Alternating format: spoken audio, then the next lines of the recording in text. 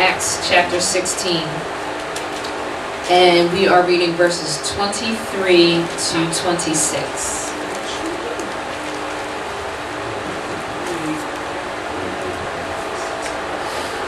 And while y'all find it, Acts chapter 3, Acts chapter 16, verses 23 to 26. And I'm going to go ahead and pray. Father, we thank you right now, God, for this day. We thank you for another opportunity that you have allowed us to come together, God, just to hear your word, God, just to, to be recharged, to be with our brothers and sisters, God, just encouraging each other and challenging each other, dear Lord, as we give you glory and praise, God. I just pray right now, God, that you just remove any any more distractions right now, God, so that we can clearly hear the word that is coming forth, God, so we can hear your instruction, God, for us that you have for us today, dear Lord. I just pray right now, God, that you speak through me today, God. You be the one, you be the voice that everyone hears, God, when I open my mouth, dear Lord. I thank you right now, God, and I give you all glory, honor, and praise. In Jesus' name, amen. Amen. Amen.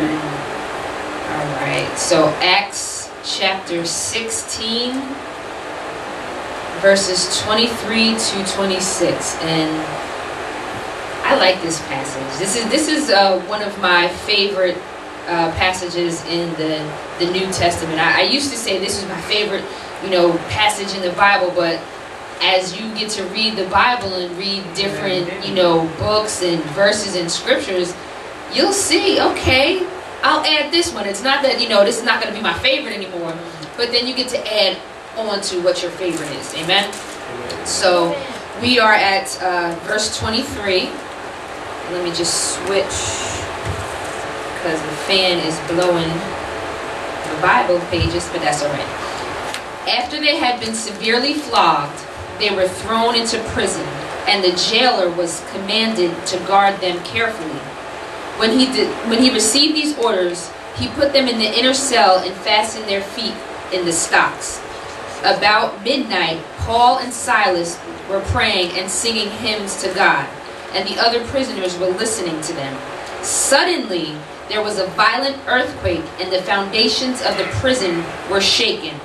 All at at once, all the prison doors flew open, and everyone's chains became loose. Amen. Amen. So let me just give a quick um, backdrop on this passage here. Basically, Paul and Silas, you know, they were out doing the work of the Lord, and they were. Um, there was a, a, a young lady who basically was demon possessed, and some of the uh, the people in the town, like the masters, they used her possession, demon possession, as a means to get money, basically. So once Paul and, and and this this particular woman, and you can you can actually read in the whole 16th um, chapter up until this point. The the lady she she follows Paul and Silas around as they're you know in the town just you know doing God's work. And basically, Paul just had enough and was just like, I command you in the name of Jesus, be gone. And the spirit left her. And because of this, those men weren't able to capitalize. They weren't able to use her anymore and, and, and gain money. So they, they were like, yo, lock them up. Lock them up. So that's that's the backdrop. So this is, you know, how we got to this particular um, selection of verses, verse uh, 23. So that's the that's the background on this here.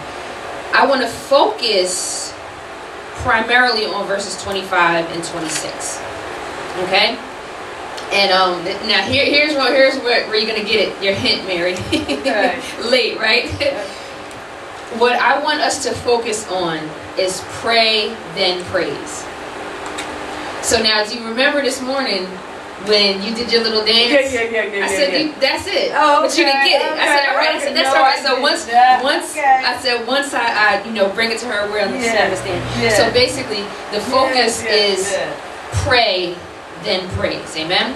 Amen. So now here, one of the things I want to uh, kind of look at, and, and this kind of jumped out at me, is the how and why. Okay, so you know, focusing on verse 20, 25. Paul and Silas were just about beaten to death. right? You know, they, they were whipped, and, and that's what it said. It said they were what um in the previous verses. That's what you know what happened to them. They were beaten and they were locked up and they were thrown in jail. So that's what happened to them. So that's how they got to you know being put in jail. But now they were shackled and and here's the the question and, and, and what people don't understand. How is it that they were able to pray, and how is it that they were able to sing?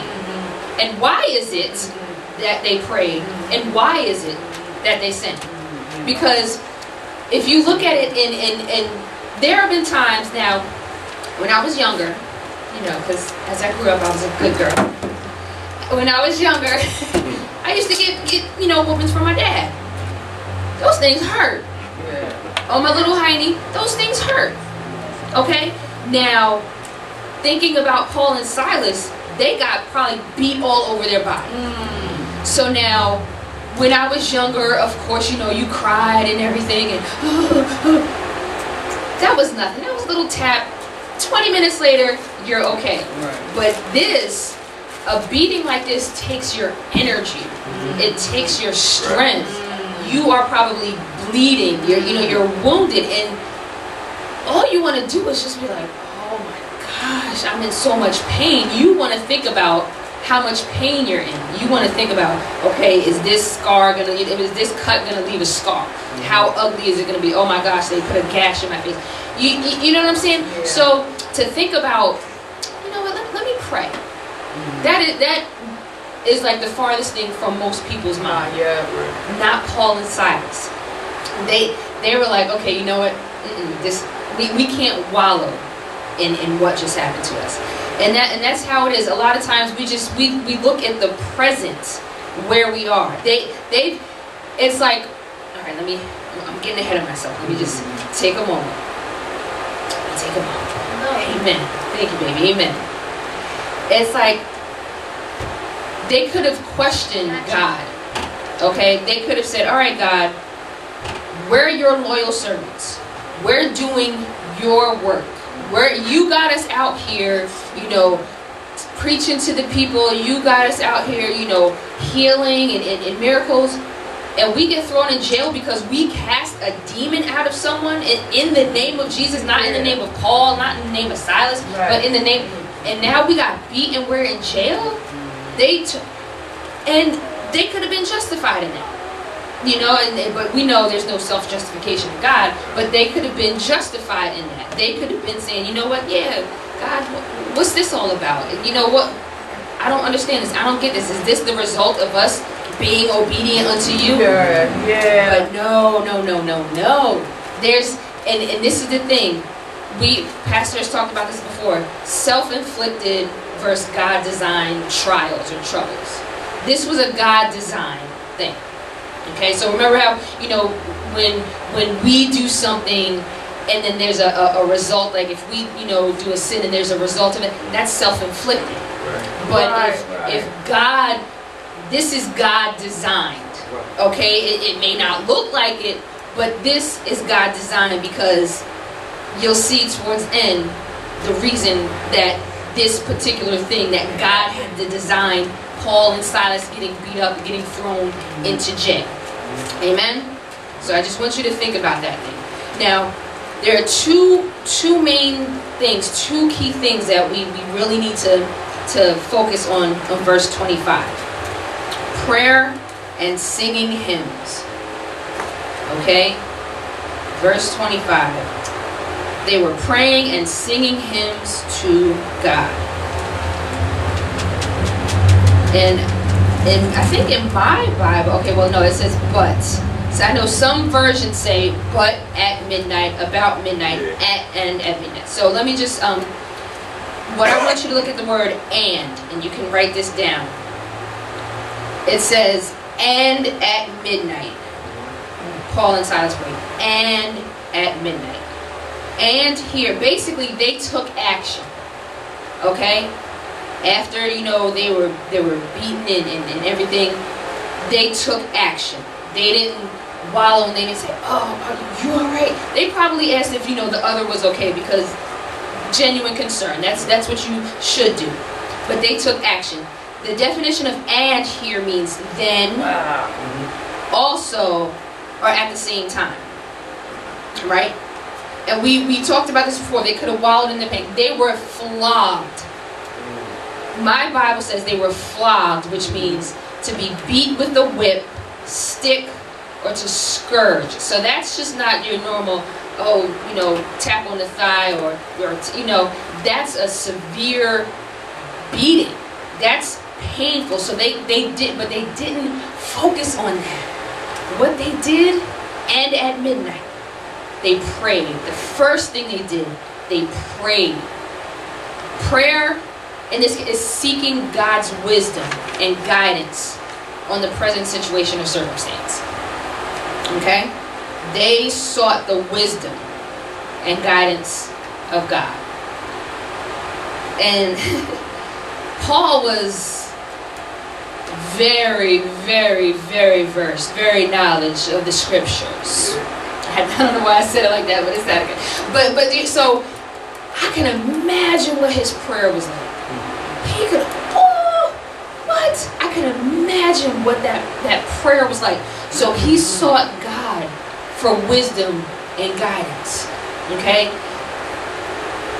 And this is it's this is why we stress how important it is to know this word. That's right. That's why we it's always give you the scriptures and even if we don't turn to them we say look on look on your own because in the times God doesn't want you when you pray oh God oh, he doesn't he, he knows he sees you Right. he's right there he knows what's going on Right. he needs to be reminded of his word. He doesn't be, need to be reminded of, of your situation. He already knows your situation.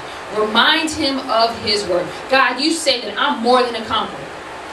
God, you say that I'm above only and not beneath. God, you say I can do all things through Christ who strengthens me. That's why it's important that we know the word. Even if you know only know the 23rd Psalm, verse 4. Yea, though I walk through the valley of the shadow of death. Even if that's the only scripture that that can come to there are sometimes when um a scripture is just it just leaves my mind. I'm like i know this scripture. It's like i know. But then another scripture will just come into play. That's but that can't happen if you don't know the word so even if you know you're you're praying and you're, you're like god and if you just know that, yea, though I walk through the valley, that even if you just know one scripture at that moment when you're praying, pray it and mean it. Pray, God, this is what you said in your word. So, and, and you know, you're a man of your word. You're not going to lie. So, you got to come through. You, you get what I'm saying? You, Yeah. you understand Yeah. that? Yeah. Amen. It, it's it's no time for pity parties. That's No right. time to. Go with me. Ain't got time for that. and, and and this is the if if you don't have the words to pray, God, here I am. Please help me. With a sincere heart, really crying out, God, I'm I'm here. I need your help. I I don't need I don't know what else to say, but help me. He hears that because he hears it with your heart Mm-hmm. and because you're being sincere. And, and he knows oh I, I know james knows some scripture i know mary i know Shawnee, but right now they're just c- c- you know just caught up in the moment where it's like okay god i don't want to focus on this but i'm, I'm looking to you but i can't think of the, the one scripture that, that i need to pray right now so help me does that does that make sense? Because I, I want y'all to understand. I, I want you to get it because it's important about prayer. Amen. And but now this is this is where a lot of times where we get stuck. Sometimes we just want to stay bound. Yeah. So, sometimes we just want to stay bound. We just want to you know stay in jail. You know, just want to stay shackled up, stay you know confined. But Christ has given us freedom. He has He has given us freedom. He has given us liberty. He has given us victory. Amen. Amen. And now, ha- have you ever watched? Um, I'm trying to think of. I don't even know if they do it. I can't. I can't. I couldn't even think of a movie, but just think of a movie that you you've um, you know watched, and somebody's been kidnapped and tied up, right? And a lot of times, the person who's been tied up, what are they doing? Trying to get get loose. They trying to get loose. No, nine times out of ten, ain't nobody sitting there like, okay, what's next? No, they trying to get loose. They trying to figure out what they, you know, if they can use their watch to, Mhm. because they don't want to be bound. Because when you're bound, Right. you're restricted. You're just confined to that one little, little, little area, that one little space. Yeah. God is outside the box. Right. He, Right. God don't want to be in this box. In it, and although boxes may be big or small, God is like, I'm bigger than that. You can find the biggest box that there is. God is like, Mm-mm, I'm bigger than that. I can't be in there. So that's why He doesn't want us bound. He doesn't want us to be restricted. Because when you're restricted, You you can't move. You can't. You can't. Look, when you're restricted, you can't raise your hand and praise. Right. When you're right. restricted, you can't do your dance. I know that's right, Sister Mary. Amen. Okay. So, so, so that's why it's important that we pray. That's why it's important that we have that prayer, that, that word, that knowledge, communication with God. Amen. Amen. And then the second part of that, sealing, um, singing hymns. Okay. Sing me some more.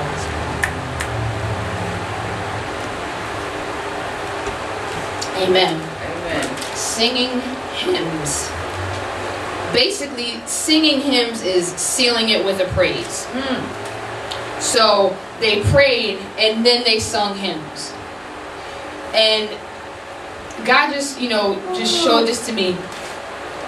We we do intercessory prayer first. And I think from, for to my understanding, most most, you know, churches, ministries, their order of, you know, Sunday morning service, prayer, intercessory prayer, and then they go into, you know, praise and worship.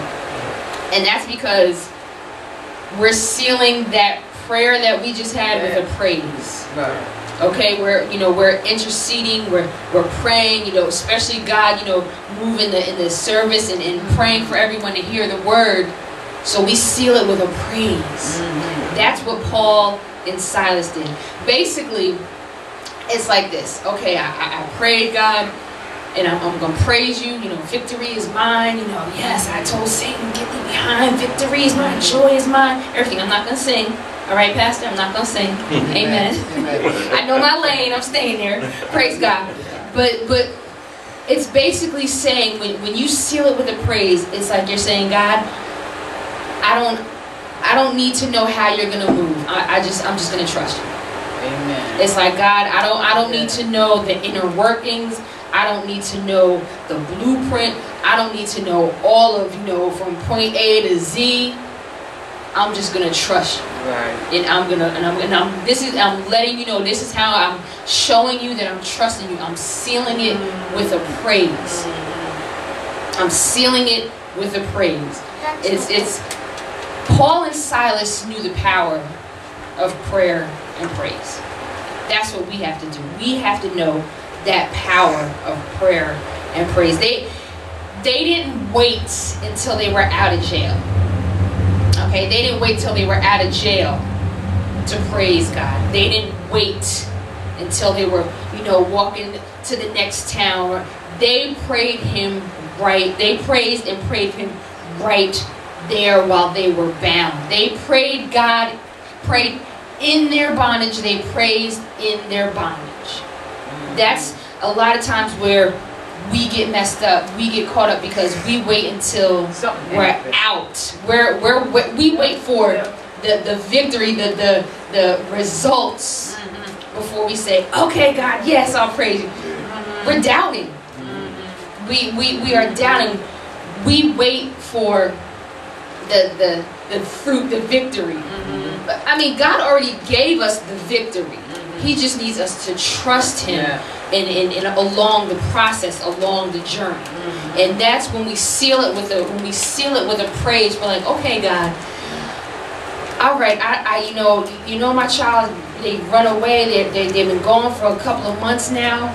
I don't know how you're gonna bring them back, God. But I know I trust you. I trust you, God. That and I'm gonna continue praising you, God. I'm gonna continue thanking you, because God's time and our time are not the same. You know, we can't stress it enough. We have to truly understand that. So when we put it out there, when we say, "All right, God," especially when we say, "God," and we know it's in Your time, it may be a couple of years before that child comes back. But you gotta keep believing and keep trusting and keep having the faith that God is gonna bring that child back, and you seal it with a praise. When you doubt and when you when you wait till you're out of jail, out of your bondage Yeah, give to give yeah. him praise. You know, you know what that said? Yeah. That's like God. I, I. I, th- that that tells God that you don't trust him. right. There you go. That that shows God that you doubt him. You you only recognize him when he does something for you. Right. Yeah, I mean he's he's always doing something for us. He woke us up this morning. Right. Right. So I mean he's always doing something for us. But a lot of times we just okay, okay But you get in trouble. all right God. All right God. hmm Okay. Um. Hello. No. All right God. You know what? Yes. Yes. All right. Praise you. Praise you. And just keep believing. Seal that thing with a praise. Thank you, God. God, I thank you. Even if you, even if you have to say the words of a song instead of singing them, still seal that with a praise. Do do your dance. Cut cut a little step. Mm-hmm. Praise Him mm-hmm. because, and then that that shows Him that you trust Him. That mm. shows Him that you truly love Him. You're like, all right, God, it's in Your hands. Mm-hmm. Amen. Amen. Now I want to um look at verse 26 real quick. Is it 26 yet? Suddenly. Okay? Yeah. Suddenly.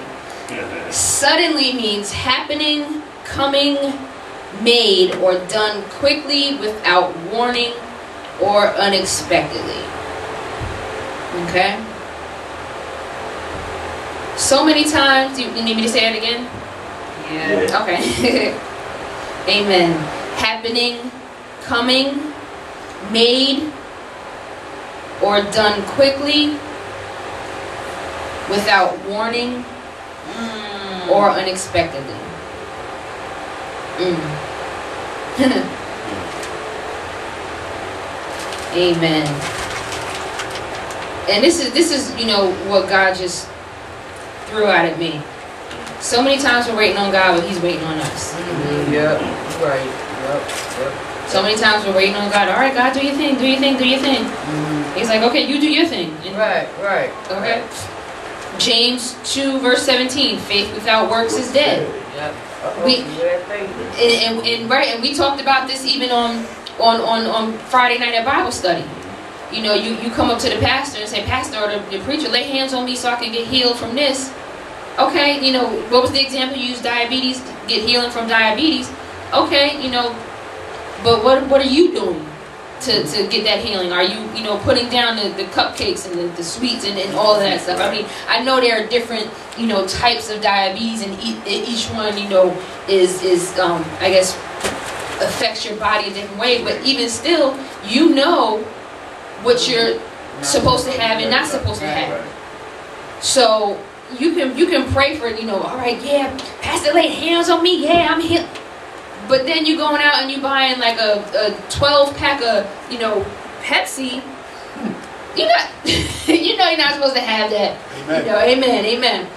But 12 pack. look praise, praise god but this is the thing god is not a genie. You don't just Well, you don't you don't just rub the bible and then poof everything happens Amen. all right god mhm. No, that's that's not how it works. God is not a genie. You don't just say, "All right, God, abracadabra, do it, God." No, Uh-huh. that's not how it works. Mhm. But And and in in in in relation, in correlation to verse twenty six, this suddenly happened because of verse twenty five. So our suddenly happens when we do the prayer and the praise.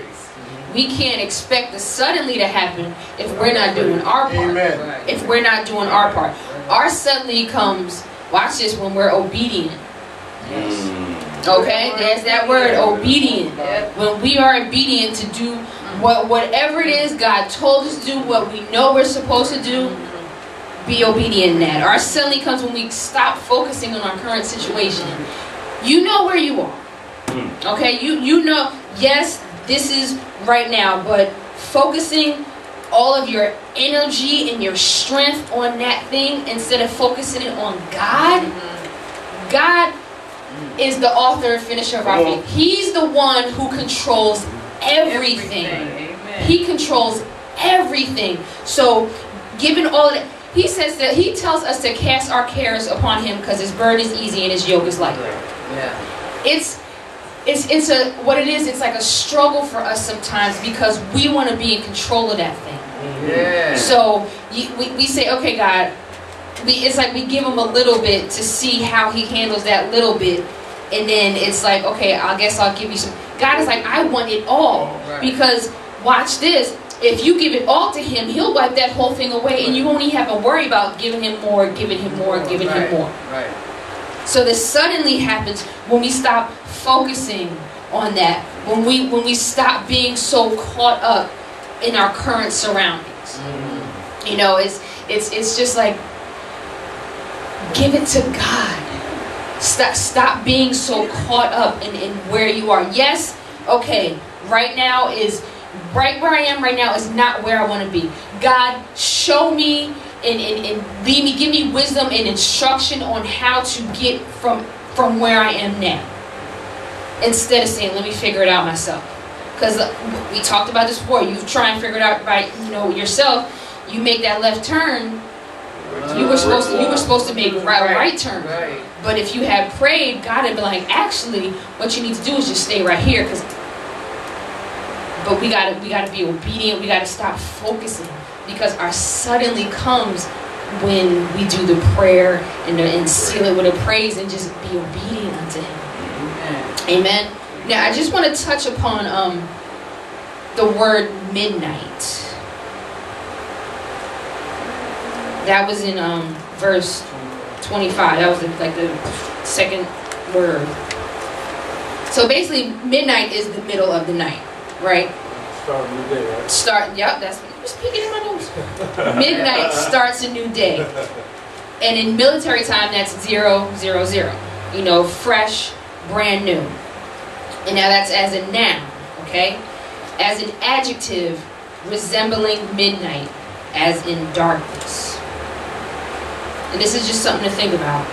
Have you ever felt like it was midnight while the sun was shining bright? Yep. Yep.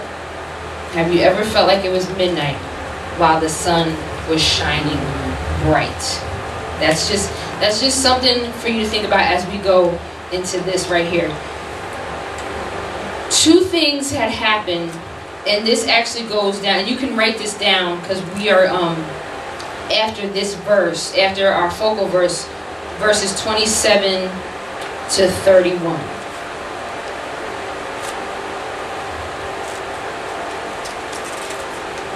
Just write those down and be- before we go there the the midnight resembling darkness is like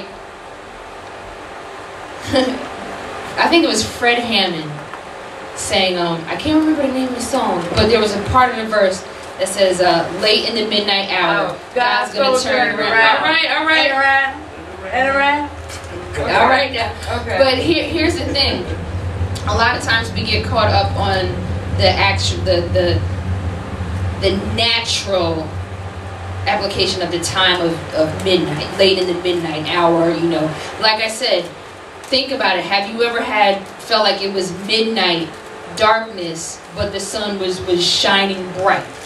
If you go back to, um, I believe it's in Matthew when Jesus was on the cross and, and he was being crucified, and right, I think it was right before the first Yeah, saying, it it, got it, got really dark, but it wasn't like dark like how we know it, you know, the, the sun going, to, it was like a, a, like a really like, probably like if, you know, you put your hand over your eyes, dark like that. So now, yeah. So it's so it's saying that in the in your darkness, in your time of darkness, when you feel like resembling midnight, it's time now. What you can do is put them together. It's time for that fresh start. Okay, time for that fresh start. Pray and praise. That's how you get out of that darkness. That's how you get that fresh start. Pray and praise. But now, what I want to do is I want to real quick um, cover verse 27 through 31 because and, and i'm going to um, read it real quick and the keeper of the prisoner awaking from sleep and seeing the prison doors open supposing the prisoners had fled drew his sword and was about to kill himself but paul called with a loud voice saying do yourself no harm for we all are here then he called for a light ran in and fell down trembling before paul and silas and he the prison guard brought them out and said, Sirs, what must I do to be saved? So they said, Mm. Believe on the Lord Jesus Christ, and you will be saved, and you and your household. Remember when I said in the beginning about self inflicted God versus God design? This is right here the reason why it was God designed. Because that prison guard needed to see the power of God so he can to be saved, him and his household. Okay? So I just remember because I pointed that out to you and I said we're gonna we're gonna cover that. But now here's the thing. Two things happened here. There was a natural occurrence and a spiritual awakening. There was a natural occurrence, which is the physical, obvious, the earthquake, Yeah. you know, the prison doors open, the Yeah. shackles. But now the spiritual was the prison guard getting saved. Mm. Now, Hebrews 13, verse 15. And you don't have to turn there, but um, I'll just read it. By him, therefore, let us offer the sacrifice of praise to God continually. That is the fruit of our lips, giving thanks to his name. That's basically what Paul and Silas were doing when they were singing the praise. And because of that, spiritual breakthrough took place Mhm. because of our praise, spiritual bonds and, and it changed. Spiritual breakthrough took I got it. place. I got it. I So- Oftentimes, you know, we like I said, we we don't always know the plans. It's not for us to know the plans. It's God designs plans, and truth be told, God will change the plans in a minute. But if we are trusting Him and if we are in tune with Him, we'll be able to flow and guide and, and, and go where He's telling us to go. This spiritual breakthrough took place because they were praising. Praising. Now, watch this. They could have fled once the prison doors were open. Yeah, yeah. They could have fled, but they didn't. Why? Because they were on assignment. They were they had a d- God-designed appointment to save that man, to preach to that prison guard about Jesus and save him and his household. So what we have to do is we have to stay on focus. We have to pray, then praise. And and now this is the thing. When you do it, don't do it with the with the um, intention that someone will get the spiritual breakthrough. I mean, that's always a blessing, but when you do it with that intention, you're not doing it with the right heart. Right, right. That's your right. although you know it's a it's a great intent, but you're doing it with the with with a with the wrong heart because that heart is like okay, I'm praying and I'm praising. Yes, somebody got saved.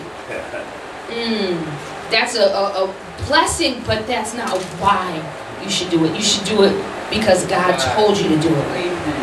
Amen. Amen. When we pray and sing praises unto God in the midst of chaos, He honors that. He totally honors that. When we focus on God and not the circumstances, He sees that, and guess what? That forces Him to work on our behalf. I mean, I know God was probably like, I don't know what God is like, but um, yes, when we focus on God and not the circumstances, He sees that and it forces Him to move on our behalf. So, in, in this case, when Paul and Silas, instead of talking about how sore they were and how tired they were from being, you know, beat and, and, and shackled up, they said, you know what, let's let's pray. They probably it probably wasn't a, a, a excite or energetic prayer like Pastor had this morning, but they prayed because they probably didn't have the strength. They probably were, you know, so sore and just like, God, we thank you. but they prayed. They prayed and they sealed it with praise. They sang praises. Lord, we just want to thank you. They did it. And God was like, wow. They are hurt. They are toe up. But they're praising me. Mm-hmm. They're they're praying to me. You understand what I'm saying? Yeah. He was like, how do I not honor that? How do I not move on their behalf? They're offering a sacrifice of praise. They are, are, are not thinking about themselves. They are thinking about me. I got to move on their behalf. Amen? Amen. So now, verse, what was it? Verse 20, 28. Well, the end of 27. The prison guard was ready to kill himself. But he ended up living forever. Hmm. Yes. You caught that? Yes.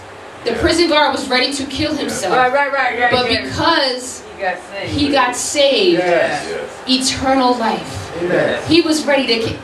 And when he killed himself, he was going to hell. Right. Right. So he said, and then, and then once Paul said, "No, we we here, we cool, we cool," you know, we didn't. Be, because now this is the thing. Thank you, Holy Spirit. If if especially it didn't matter about the other prison guards. They could have been the I mean the other prisoners. They could have been the worst people. But Paul and Silas, he knew that if Paul and Silas had got out, he would have died either way. Why? Because of what Paul and Silas did. They cost those men that money when Right. Paul cast out the demon in the girl. Right.